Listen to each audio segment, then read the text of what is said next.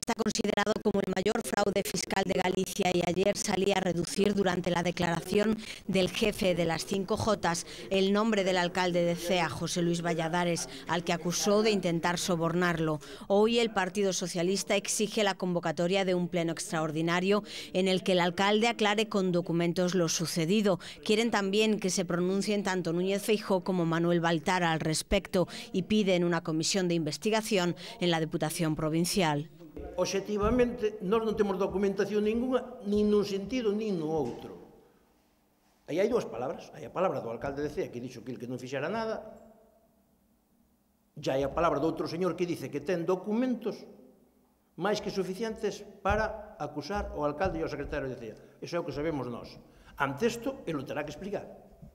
O único nome que deu eh, esta persoa é do señor alcalde eh, de CEA. Por tanto, o PSDG comparece para pedir esas explicacións.